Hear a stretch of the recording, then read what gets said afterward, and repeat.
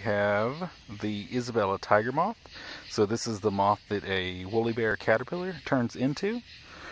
It's a fairly nondescript little moth, but the males, which is this guy here, has a fairly unique adaptation, I guess, which a lot of these moths have. They have what is called a, I think it's a coremata organ or something similar to that. But you see these two little white areas on the uh, underside there? He started to put them out just then.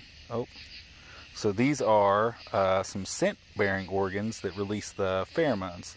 So if I just give them just a tiny little squeeze, I mean, it's nothing, I'm, I'm barely putting any pressure at all, these guys will avert out.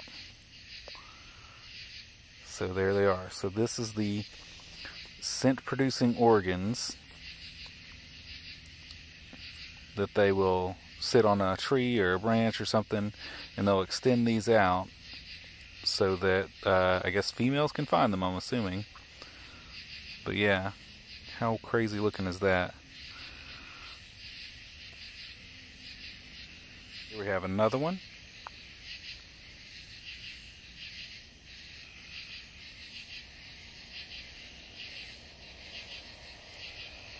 Really crazy looking structures